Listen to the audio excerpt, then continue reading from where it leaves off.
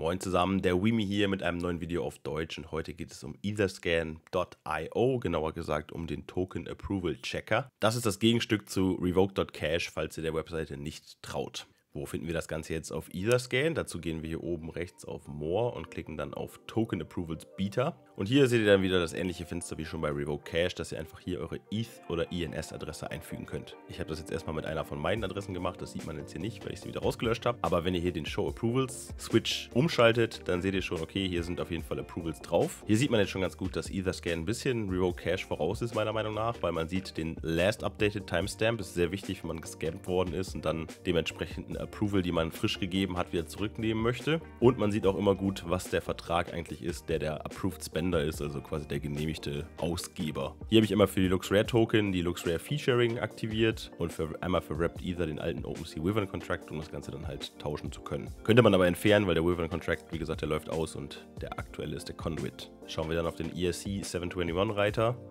sehen wir auch die NFT-Approvals und wie schon im Revoke Cash Video gesagt, sollten sich hier eigentlich nur Marketplaces wiederfinden oder gewisse Staking-Optionen. Niemals eigentlich eine random Wallet-Adresse. Hier seht ihr schon, ich habe ja immer das OpenSea Conduit drin, das ist der neue, das aktuelle Seaport-Protokoll.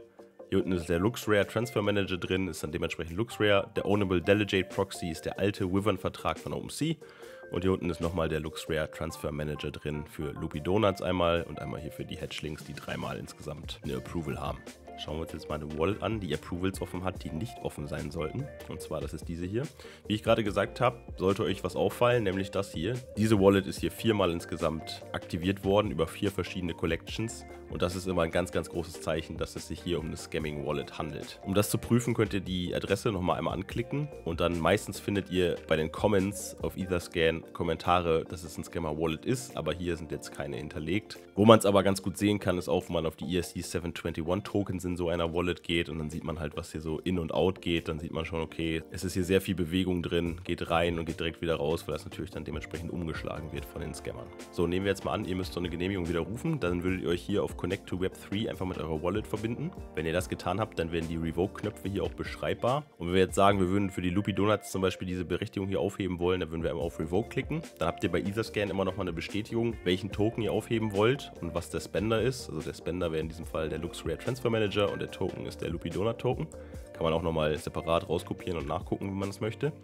Dann klickt ihr auf Revoke und dann poppt eure Metamask auf und sagt euch, hey, wollt ihr wirklich die Berechtigung zurückziehen? Also hier steht schon explizit Revoking Permission. Hier unten steht es aber auch nochmal im Detail in dem Data Tab. Da steht nämlich Function Set Approval for All wird auf False gesetzt. Also die Boolean-Variable wird dann auf False gesetzt. Das heißt, die gegebene Adresse, der ihr die Berechtigung erteilt hattet, kann diese Tokens nicht mehr für euch ausgeben. Da würde das Ganze mit Confirm bestätigen und dann wäre diese Berechtigung entfernt. Das war's fürs erste für den Etherscan Token Approval Checker. Ich hoffe, euch hat es gefallen. Bis bald.